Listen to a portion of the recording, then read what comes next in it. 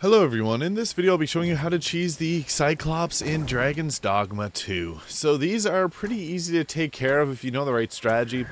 The thing that we want to do is attack this from range, so we're trying to aggro it and pull it over here. Now there's a pretty unique mechanic when they're near bridges. Unfortunately one of my pawns ended up falling to their death there, but when they come towards it they'll stumble and fall over the bridge here. Now what you can do is you can use them as a bridge, but unfortunately janky controls leads to that happening but what we want to do is attack it as much as we can while it's laying here. Sometimes you can get the kill pretty quickly, but the trick that we're going to be using is trying to dangle it around the water here and it'll take itself out.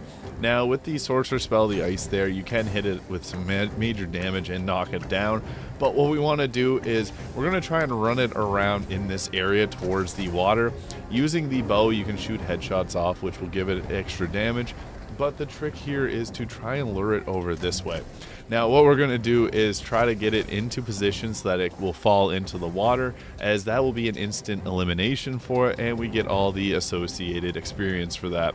Be mindful you can't connect, collect the loot from it, but this is going to be a great way to get experience early on. So the trick that we're going to do is we're just going to continue to blast away at it here. And now it's right in position by the water. This is exactly where we want it to be. And we're just going to continue to hammer away at it, get some headshots if you can, because this will stagger and make it step backwards.